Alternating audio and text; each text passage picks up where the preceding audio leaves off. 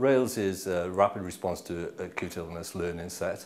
And really it's about reducing harm and improving patient care. It would be the use of SBAR handover, where that's being done in a formatted way,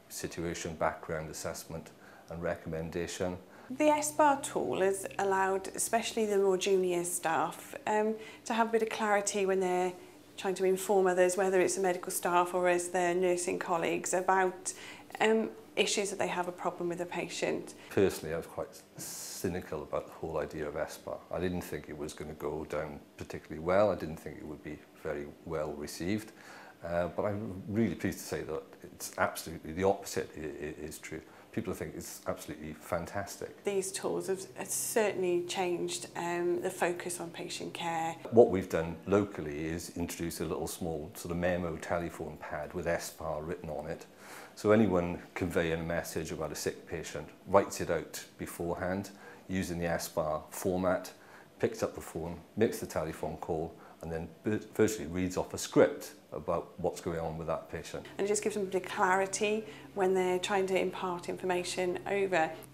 We can be very precise and very clear about what we feel is wrong and that we feel that action needs to be taken. Sometimes communication, especially in a stressful situation, can be limited.